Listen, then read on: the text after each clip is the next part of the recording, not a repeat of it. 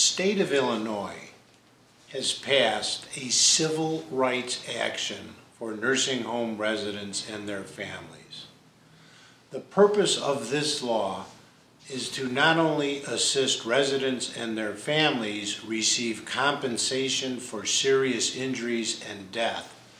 but it's to change the way nursing homes operate in our state. In a state that has funding problems, that doesn't have the money necessary to regulate nursing homes how they should, the state has passed a law to encourage private lawyers like our firm to take these cases to not only compensate nursing home residents for the injuries and unnecessary deaths that occur in nursing homes, but to work towards making Illinois a safer state for residents. That is what our firm does, and that is what we have been doing for the last 30 years.